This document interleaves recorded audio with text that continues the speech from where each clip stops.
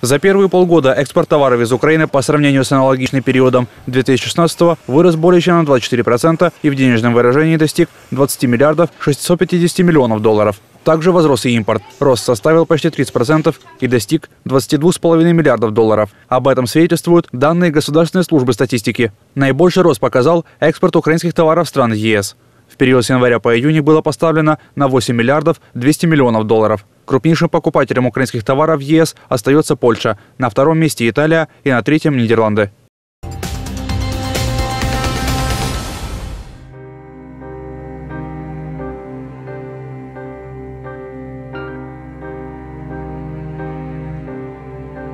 В интернете появился первый тизер украинского фильма о защитниках Донецкого аэропорта под названием «Киборги». Его режиссером выступил Ахтем Сейтаблаев. Сценарий написала Наталья Ворожбит. По словам Сейтаблаева, он создавался по воспоминаниям украинских военных, принимавших участие в обороне аэропорта.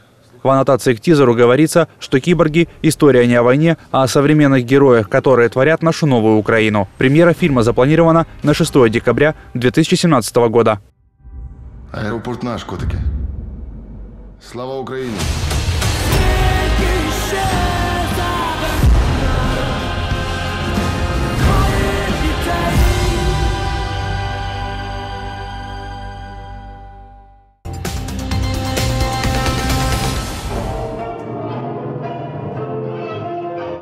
И снова Буэнос-Айрес погрузился в звуки танго. В аргентинской столице проходит ежегодный международный чемпионат. Танцоры соревнуются в двух категориях. Сценическая танго более сложная с хореографической точки зрения. А это салонная. Здесь нет таких же прыжков и переворотов, но правила не менее строгие. Сейчас проходит отбор. За исполнением на сцене зорко следят члены жюри. Я счастлива быть здесь. Я люблю танцевать танго. Я счастлива, когда это делаю, и счастлива, что участвую. Танго зародилась в 19 столетии в бедных портовых районах Буэнос-Айреса. Сегодня этот танец популярен во всем мире. Чемпионат по танго проходит с 10 по 23 августа.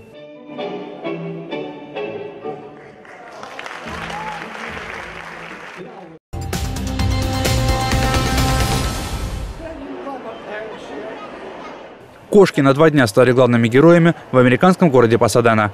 Здесь прошел третий ежегодный фестиваль «Кэткон», посвященный этим пушистым четвероногим. Главная цель праздника – рассказать людям о хороших качествах кошек, а также создать площадку для личной встречи их поклонников. Ведь, как объясняет организатор фестиваля, кошки не собаки, и у них нет определенного места для выгула. Думаю, Кэткон дал им возможность собраться вместе в реальной жизни. Теперь мы постоянно сидим в интернете, но людям по-прежнему нужна настоящая жизнь. Они хотят, чтобы остались воспоминания, хотят прочувствовать и лично пережить все это. Посетители фестиваля приходят в пушистых костюмах, футболках с изображением кошек и без стеснения надевают на голову кошачьи ушки. У меня шевелящиеся кошачьи уши. И скажу вам, где бы я здесь ни ходила, люди восхищаются. У тебя уши шевелятся, как здорово, откуда они у тебя? Но когда выходишь в таком виде на улицу, люди спрашивают, все ли у меня в порядке, здорова ли я? Для любителей кошек на фестивале предлагают различную одежду с их изображениями, сувениры и мягкие игрушки. Одна из них сделана в честь знаменитой кошки по кличке Нала. У нее есть страничка в Инстаграм и почти 3,5 миллиона подписчиков. Пушистая звезда лично приехала со своей хозяйкой на праздник по Садену. Владелица кошки пообщалась с ее поклонниками. Некоторые люди думали, что она не настоящая, поскольку ее мордочка похожа на мультяшную, как у диснеевских персонажей. Ее фотографии людей очень радовали, а однажды одно фото стало вирусным. После этого число поклонников продолжает расти.